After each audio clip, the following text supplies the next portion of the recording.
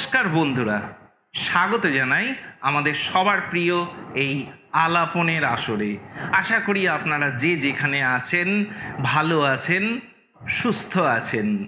আমাদের এই আলাপনের আসরে আপনারা বরাবর শুনে থাকেন, আমাদের অনুষ্ঠান শোনা ও দেখার পর আপনারা ফেসবুকে এবং ইউটিউবে যে মতামত লিখে পাঠান, তাই নিয়ে কথা। আজও তার ব্যতিক্রম নেই। প্রথমেই চলে যাচ্ছি দোসরা মেয়ের অনুষ্ঠান প্রসঙ্গে। অনুষ্ঠানটি ছিল ভক্তিগীতির আসর। আর এই ভক্তিগীতির আসরে পরিবেশিত হয়েছিল একটি জনপ্রিয় গান, মারিয়া আমার মা, আমার পুণ্যময়ী মা। পরিবেশন করেছিলেন কাকলি বিশ্বাস ও লুইজিয়ানা মণ্ডল। পরিচালনায় ছিলেন ফাদার সৌমিত্র মাখাল। এখনও অবধি দেখা যাচ্ছে যে এই অনুষ্ঠানটি মোট দু হাজার চারশো জন দেখেছেন এবং বেশ কিছু মতামত এসেছে এই অনুষ্ঠান প্রসঙ্গে। উল্লেখ করতে হচ্ছে যে প্রথমেই লিখছেন ত্রিপুরা থেকে, প্রদীপ কুণ্ডু এবং কলকাতা বেহালা থেকে প্রিয়ঞ্জিত কুমার লিখছেন অনুষ্ঠানটি দেখে বেশ ভালো লাগল। তারপর লিখছেন চিত্রা গোমস। সকালবেলা গানটা শুনে খুব ভালো লাগল। তারপরে লক্ষণ কুণ্ডু কৃষ্ণনগর নদিয়া থেকে এবং মনীষা রায় মেখিলিগঞ্জ কুচবিহার থেকে। আপনারা দুজনেই একই কথা লিখেছেন যে, অসাধারণ একটি ভক্তিগীতি শুনলাম, বেশ ভালো লাগল। তারপরে আবারও এই রকম একই কথা লিখে পাঠাচ্ছেন দেবাশিস গোপ কুশমন্ডি দক্ষিণ দিনাজপুর থেকে এবং সুমন্ত মণ্ডল কৃষ্ণনগর নদিয়া থেকে। যে এই সংকটের দিনে আমরা একটা সুন্দর মা মারিয়ার গান শুনলাম, খুব ভালো লাগল। বন্ধুরা, এই ভক্তিগীতির আসরে মা মারিয়ার গানটি পরিবেশন যে ভালো লেগেছিল, তার জন্য অসংখ্য ধন্যবাদ জানাই। নিশ্চয়ই ভবিষ্যতে ফাদার সৌমিত্র মাখাল আপনাদের কাছে আরও এরকম সুন্দর সুন্দর শিল্পীদের গান পরিবেশন করবেন। তখন নিশ্চয়ই আপনারা এইভাবে আমাদের পাশে থাকবেন। এরপর বন্ধুরা, আমরা চলে আসি তিন মে অনুষ্ঠান প্রসঙ্গে। অনুষ্ঠানটি ছিল বিনোদনের আসর। অনুষ্ঠানে পরিবেশিত হয়েছিল উত্তর চব্বিশ পরগনার বারাসাত থেকে পেশায় ডাক্তার, সংগীত শিল্পী ডাক্তার প্রবীর মিশ্রের কণ্ঠে একটি আধুনিক গান। আর এই অনুষ্ঠানটি দেখার পর বেহালা কলকাতা থেকে প্রিয়ঞ্জিৎ কুমার ঘোষাল লিখছেন, বিনোদন অনুষ্ঠানে ডাক্তার প্রবীর মিশ্রের কণ্ঠে আধুনিক গান শুনলাম। তিনি ডাক্তারি পেশাতে নিয়োজিত থাকা সত্ত্বেও সংগীত চর্চা অব্যাহত রেখেছেন। ভালো লাগল এটা।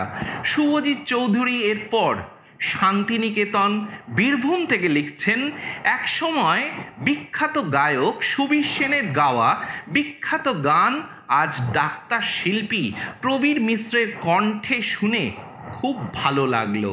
তারপরে নালিকুল হুগলি থেকে অনিমেষ দাস লিখছেন, ডাক্তারবাবু ও শিল্পী গায়ক প্রবীর মিশ্র মন ভরানো গান শুনে খুব ভালো লাগল এবং তারপরে আরও যারা লিখছেন তাদের মধ্যে রয়েছেন মাধবচন্দ্র সাগর, নৈহাটি, উত্তর চব্বিশ পরগনা থেকে।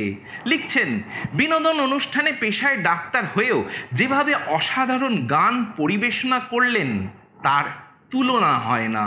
এরপর হাতিডুবা বানেশ্বর কুচবিহার থেকে রানা চ্যাটার্জি লিখছেন, ডাক্তার প্রবীর মিশ্রের কণ্ঠে আধুনিক গানটি মন ছুঁয়ে গেল। এরপর কিশোরগঞ্জ, ঢাকা, বাংলাদেশ থেকে গৌরমোহন দাস লিখছেন, খুব মন জুড়ানো গান গেয়েছেন ডাক্তার প্রবীর মিশ্র মহাশয়। খুব ভালো লাগল।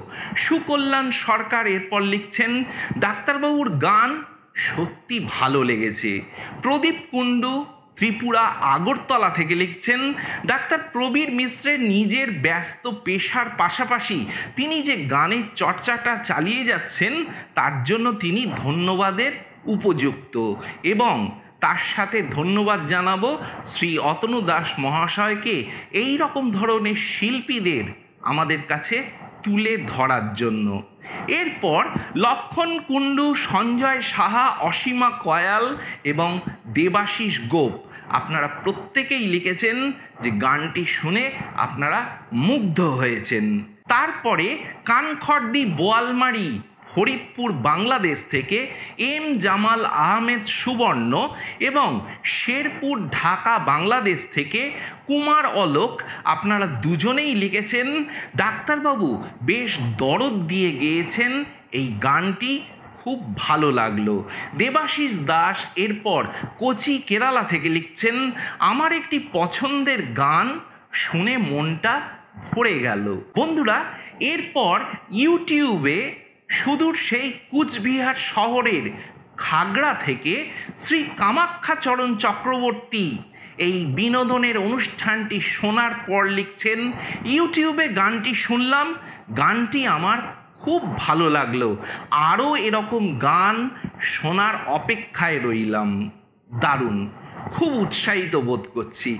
আপনাদের যে এই ডাক্তার শিল্পী তার গানটি আপনাদের ভালো লেগেছে তা জেনে সত্যি ভীষণ আনন্দিত বোধ করছি।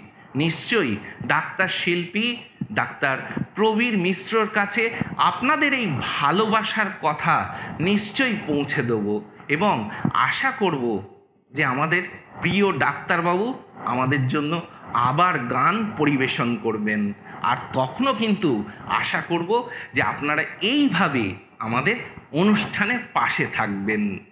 এরপর বন্ধুরা আমরা চলে আসি চার মে প্রাজ্ঞবচন অনুষ্ঠান প্রসঙ্গে গীতার বাণী পাঠ ও ব্যাখ্যা করেছিলেন বাংলাদেশের জাতীয় হিন্দু সমাজ সংস্কার সমিতির সাংগঠনিক সম্পাদক কেন্দ্রীয় কার্যনির্বাহী পরিষদের শ্রী গৌরমোহন দাস, কিশোরগঞ্জ, ঢাকা, বাংলাদেশ থেকে।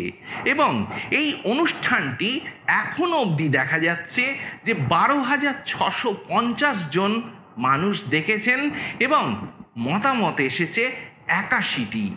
তার মধ্যে কিছু মতামত আপনাদের কাছে সংক্ষিপ্তভাবে তুলে ধরছি। তবে কয়েকজনের মতামত নিতে পারছি না সময়ের অভাবের জন্য। তাদের কাছে আমরা বিশেষভাবে ক্ষমা প্রার্থী। তাদেরকে কিন্তু আমরা উত্তর দিয়েছি ফেসবুকেই। আশা করছি আপনারা এইভাবে আমাদের অনুষ্ঠান শুনে যাবেন। আমরা কিন্তু আপনাদের মতামত পরে কিন্তু পড়ব। তাহলে চলে আসি মতামতে।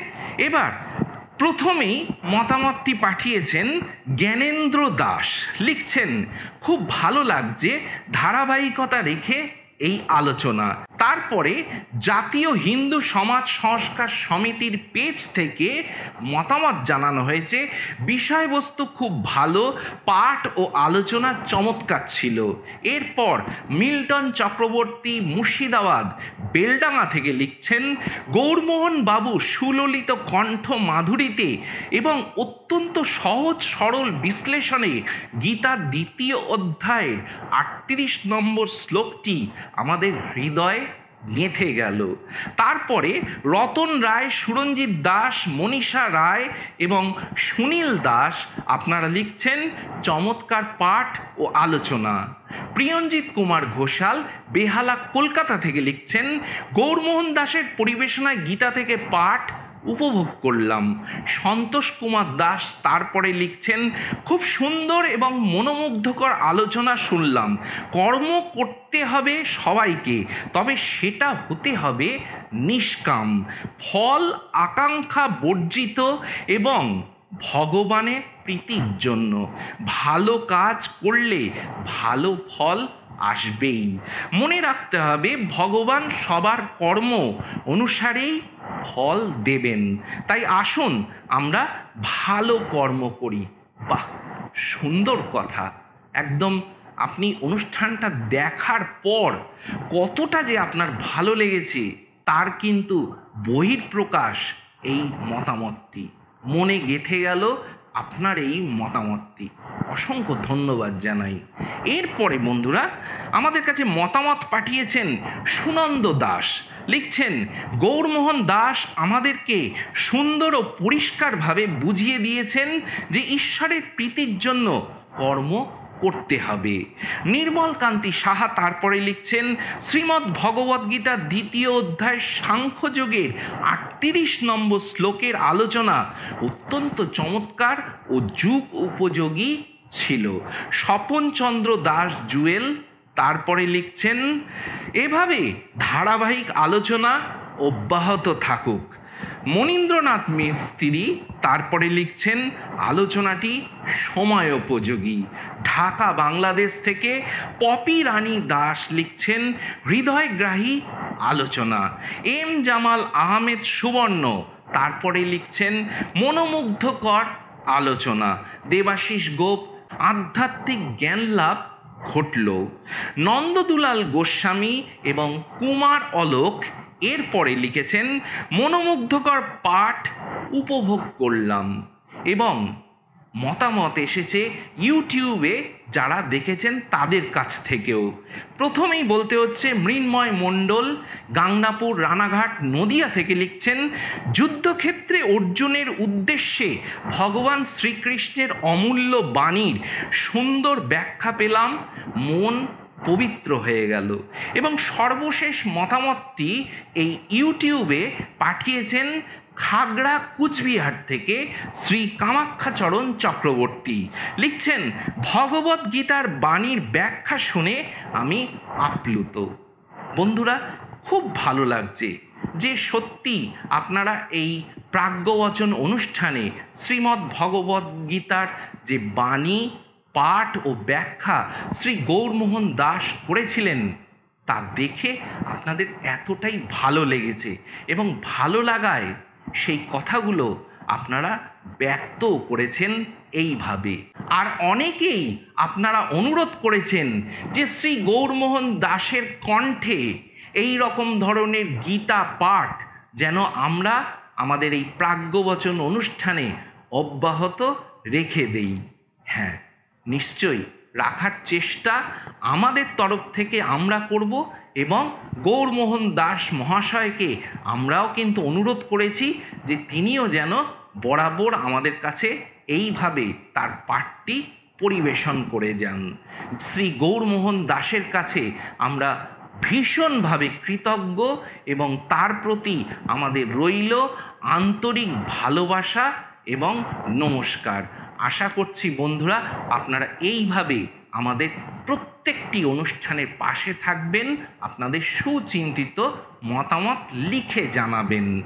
এরপর বন্ধুরা চলে আসি আটই মে অনুষ্ঠান প্রসঙ্গে।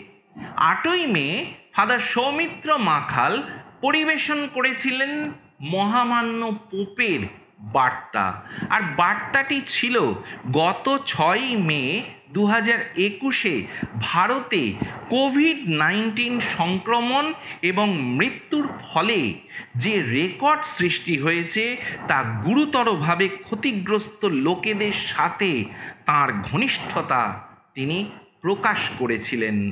এই বার্তাটি পড়ার পর দেখা যাচ্ছে যে এখনও অবধি ষোলো হাজার তিনশো চল্লিশ জন দেখেছেন। এবং এই বার্তাটি পড়ার পর তেষট্টি জন মতামত জানিয়েছেন। মূলত সবার মতামতে একটাই কথা আছে যে তারা সবার সুস্থতা কামনা করেছেন এবং মহামান্য পোপের প্রতি তাদের ভালোবাসা এবং শ্রদ্ধা তারা জ্ঞাপন করেছেন। বন্ধুরা, আপনারা যে এই মহামান্য পোপের বার্তা পড়েছেন এবং তারপর ভালো লেগেছে তা জানিয়ে আমাদের কাছে মতামত পাঠিয়েছেন, তার জন্য ভীষণ ভালো লাগছে। আশা করছি ভবিষ্যতেও এই রকম মহামান্য পোপের বার্তা পড়ার পর আপনারা এইভাবে মতামত পাঠিয়ে যাবেন। এরপর বন্ধুরা চলে আসি আজ আলাপনের শেষ অনুষ্ঠান প্রসঙ্গে। অনুষ্ঠানটি প্রচারিত হয়েছিল নয় মে। বিষয় ছিল ভেরিটাসের আসর। পুনরুত্থানকালের ষষ্ঠ রবিবার উপলক্ষে পবিত্র বাইবেলের জোহন রচিত মঙ্গল সমাচারের পনেরো অধ্যায়ের নয় থেকে সতেরো পদ অবধি পাঠ ও ব্যাখ্যা করেছিলেন ফাদার সৌমিত্র মাখাল।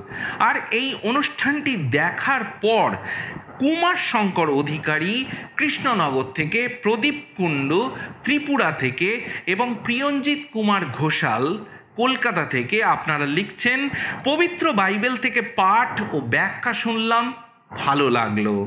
তারপরে লিডিয়া মনীষা মণ্ডল কৃষ্ণনগর থেকে মনীষা রায় কুচবিহার মেখিলিগঞ্জ থেকে Robert Haldar, Genevieve Kisku, Monica Gomes, Namita Gomes, Adam Purification, Sonaram Besra, Purnendu Naskar, Chandan Gomes, Sharmila Gomes, Maria Gomes, Shyamal Mal, Veronica Das, America থেকে Biplab Kubi, Janet Rabi Correia, Sachin Das Palash, Bimal Costa, Lakshman Kundu Krishnanagar Nadia থেকে বাসন্তী লাকড়া এবং পূর্ণিমা মাংসাং আপনারা সবাই লিখছেন যে উপদেশ অনেক ভালো লেগেছে। ফাদার সৌমিত্র মাখালের ফাদারকে আপনারা ধন্যবাদ জানিয়েছেন। এরপর হ্যাপি সর্দার আপনি লিখছেন, এই সুন্দর অনুষ্ঠানের জন্য ধন্যবাদ জানাচ্ছি। তারপরে দেবাশিস গোপ কুশমন্ডি দক্ষিণ দিনাজপুর থেকে আপনি মতামত জানিয়েছেন। পবিত্র বাইবেলের যোহন রচিত মঙ্গল সমাচার থেকে পাঠ ও ব্যাখ্যা শুনে আধ্যাত্মিক উন্নতি ঘটল ও প্রশান্তি লাভ হলো। বন্ধুরা, ফাদার সৌমিত্র মাখালের এই পবিত্র বাইবেল থেকে পাঠ ভেরিতাসের আসরে আপনাদের শুনে যে এতটা ভালো লেগেছে তা জেনে খুবই ভালো লাগছে। আর ফাদার সৌমিত্র মাখাল আগেও যেমন পবিত্র বাইবেল থেকে সুন্দর সুন্দর পাঠ ও ব্যাখ্যা আপনাদের কাছে উপহার দিয়েছে, ভবিষ্যতেও কিন্তু তিনি আপনাদের কাছে এরকম ধরনের আরও সুন্দর সুন্দর পাঠ ও তার ব্যাখ্যা উপস্থাপন করবেন। তবে বন্ধুরা, আপনারা কিন্তু তখনও কিন্তু আমাদের পাশে থাকবেন আপনাদের সুচিন্তিত মতামত লিখে জানিয়ে। বন্ধুরা, আজ তো আর সময় নেই আজ এখানেই শেষ করতে হবে এই আলাপনের আসর। আশা করছি পরবর্তী আলাপনের আসরে আপনাদের প্রচুর প্রচুর মতামত নিয়ে আবার ফিরে আসব। ততদিন অবধি বিদায় নিলাম। নমস্কার।